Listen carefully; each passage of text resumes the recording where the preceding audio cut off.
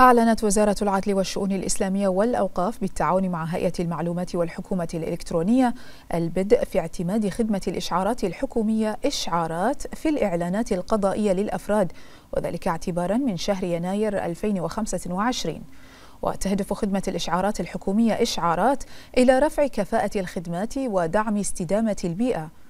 وأشارت الوزارة إلى أن هذه الخطوة تأتي في إطار استكمال التحول الإلكتروني في جميع إعلانات المحاكم عبر استخدام قاعدة البيانات التي توفرها هذه المنصة الموحدة.